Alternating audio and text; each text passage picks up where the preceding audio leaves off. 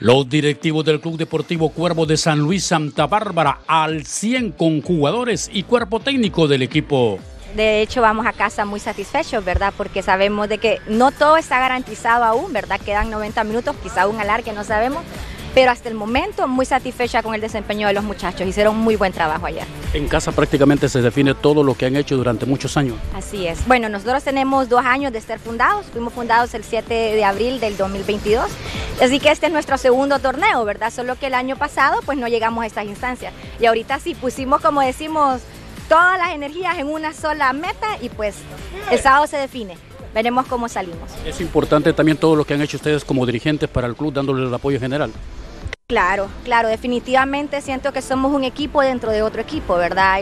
Hay, cosas de que nosotros sabemos que nuestro motor son los jugadores, pero tiene que haber algo dirigiendo ese motor, ¿verdad? Y hemos podido, en algunos han habido altos y bajos, ¿verdad? Como en toda situación, no lo sabemos todo como directivos, al menos yo no tengo tanta experiencia dirigiendo, pero sí he sido asesorada por personas que son muy sabias, que son sabias en estas cosas y el profe Gil me ha guiado bastante también. El Club Deportivo Cuervos visitó Roatán y lograron un empate a dos ante el Juventus y ahora la serie se define para llegar a la Liga de Ascenso en Santa Bárbara este próximo fin de semana. Bien, Eddie, más positivo fue el rendimiento, eh, porque justo el primer partido de la final de, de Occidente, pues ganamos 2-1 en casa y salí que, que echaba juego. Entonces por el rendimiento, por la actitud. Ayer no, es más, el primer tiempo íbamos perdiendo y le dije a los muchachos, yo estoy tranquilo, yo estoy tranquilo, yo estoy consciente que están haciendo un gran trabajo. Nos cayó un gol en pelota quieta, no se marcó bien, pero la actitud del grupo y el rendimiento era muy bueno, entonces no tenía problema. Y con lo que mostramos ayer, que volvimos a nuestra, nuestra general comportamiento como equipo, me alegra porque en casa, con esa forma de jugar ayer, estoy no seguro, pero estoy no seguro. No quiero hablar en forma de prepotencia, pero estamos claros que podemos ganar.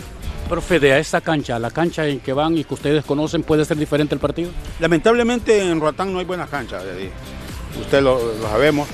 Eh, lamentablemente digo porque hay una, una, zona muy futbolera, donde hay muy buenos jugadores de fútbol. Es más, el equipo Juventus es un muy buen equipo. Y, lamentablemente digo porque, usted imagínense, se han jugado Olimpia Motagua en una cancha en el Nacional y, es un espectáculo porque la cancha da lugar a ellos. Entonces, eh, por ejemplo, en San Luis es diferente. San Luis está entre las mejores canchas de Occidente. Entonces, imagínense lo que se puede dar un gran partido porque Juventus juega muy bien.